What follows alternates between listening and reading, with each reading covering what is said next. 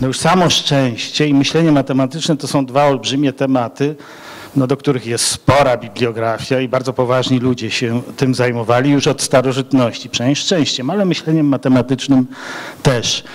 No więc e, trudno, żebym ja tutaj jakiś kompletny akademiczny wywód na obydwa tematy i jeszcze o ich związku przeprowadził. Także proszę potraktować, że to będzie kilka uwag, być może dyskusyjnych, nawet miałbym, mam nadzieję, że, że jakaś dyskusja może się wywiązać. E, te standardy akademickie nie będą dotrzymane kompletności, ścisłości, pełnej bibliografii i być może nawet postulat powagi nie do końca uda mi się uda mi się utrzymać. Ubrano w jego autentyczne ubrania, dorobiono mu głowę z wosku, bo ta prawdziwa, która zresztą tam na dole jest widoczna, o tutaj gdzieś, tak, to nie bardzo się nadawała do reprezentacji. No i taką figurę stworzono, to zostało nazwane autoikoną.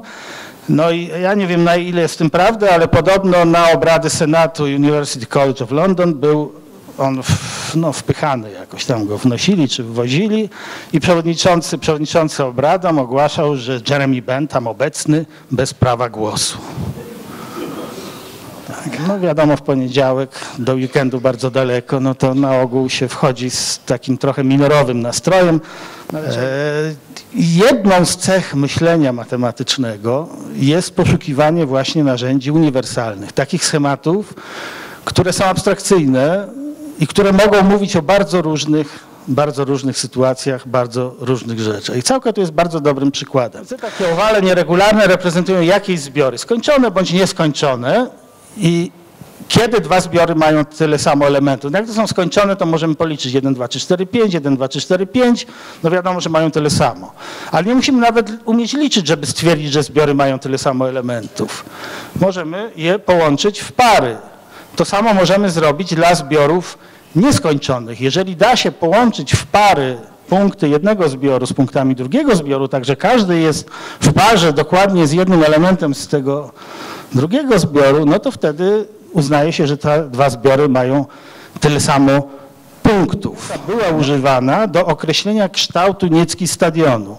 Chodziło o to, żeby była dobra widoczność z wszystkich miejsc możliwie. No i twórcy, projektanci stadionu no, postanowili całkiem w ten sposób uhonorować.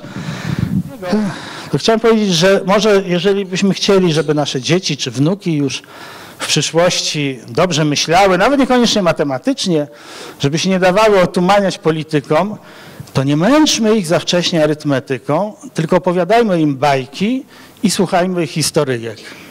Dziękuję bardzo. Uważam, że jest to bardzo świetna inicjatywa. Jest to doskonałe połączenie nauki i przyjemności. E, notabene dzisiejszy wykład e, prawił o matematyce i szczęściu, co można tutaj poniekąd e, powiązać. Temat był taki dość, powiedziałbym, no zbyt ogólny, ale, ale było pokazane tam trochę o szczęściu, trochę o matematyce. Jak to się jedno z drugim składa, trochę mniej było pokazane. Ja jestem osobiście dużą fanką kawiarni naukowych. Y, przychodzę tu choć nieregularnie, ale od kilku lat jeszcze, od czasu kiedy kawiarnia odbywała się w kawiarni Trafik. Y, dzięki tej inicjatywie Dowiedziałam się wielu interesujących rzeczy, które bądź to ominęły mnie w szkole, bądź w ogóle nie były wtedy uwzględniane w programie nauczania. Jest to fajne dla ludzi z różnych, ciekawe, dla ludzi z różnych środowisk, którzy mogą się spotkać w takim miejscu i posłuchać ludzi, specjalistów z danej dziedziny, ale właśnie w tonie lekkim, takim przystępnym dla każdego. Uważam, że nie powinno być to absolutnie nic ciężkiego, dosadnego i stricte naukowego. E, także myślę, że tutaj w tym aspekcie zdecydowanie kawiarnia się spełnia. Dodatkowo rzeczywiście będąc taką całkowitą i e, rzeczywiście e, bardzo przyjemną, przyjemnym połączeniem nauki, kawy, soku, jakiejś tam przekąski i, i, dyskusji. Dyskusji, która po dzisiejszym, po dzisiejszym wykładzie rzeczywiście muszę powiedzieć była bardzo, bardzo taka no, twarda i, i rzeczywiście wynikająca z dużego przejęcia e, właśnie wysłuchaniem wykładu. Nie wiem, bo ja już mam oba tematy dość, dość dokładnie zgłębione, bo się zarówno matematyką, jak i etyką, czy też no, właśnie eudaimonologią, można powiedzieć, e, dokładniej trochę zajmowałem, więc dlatego chciałem po prostu zobaczyć, co tutaj mm, może być powiedziane, ale myślę, że dla człowieka, który się z taką rzeczą spotkał pierwszy raz, to może być to dość ciekawe przeżycie.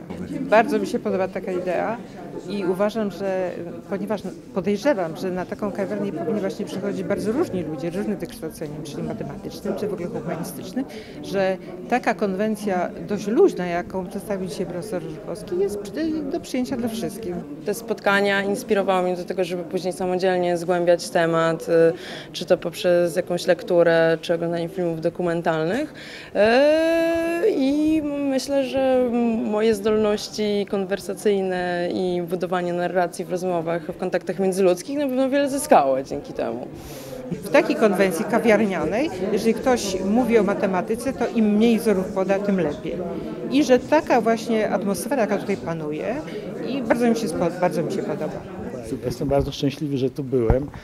No i to, że jak panowie widzieliście, były takie głosy może trochę mało wyważone przeciw, to mnie to nie przeszkadza. Każdy ma prawo mówić e, na co, e, co ma ochotę, a publiczność chyba prawidłowo oceniała tę- tę całą dyskusję. Także ja się bardzo cieszę i uważam, że takich inicjatyw powinno być jak najwięcej.